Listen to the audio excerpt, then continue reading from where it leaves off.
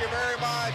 At a rally just north of Toronto, Pierre Poilievre takes aim at his rivals. How many working folks can't choose where to go for a vacation because they can't afford a buck 75 a liter of gas, some, a price that's going to rise because of the carbon tax that Justin Trudeau has imposed and that Patrick Brown and Jean Charest support.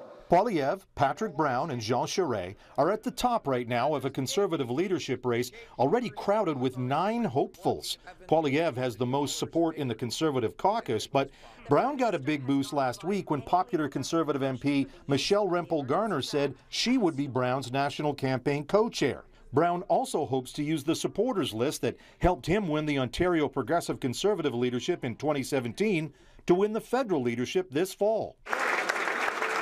And on Friday, former Ontario Premier Mike Harris announced his support for Charest, who, of course, is a former Quebec Premier.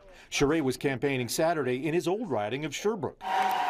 The focus on Ontario and Quebec should surprise no one because this race is decided on a points system, with each and every riding in the country having 100 points up for grabs. The electoral strength of the Conservative Party is in the 48 ridings in Alberta and Saskatchewan, where Conservatives hold just about every seat.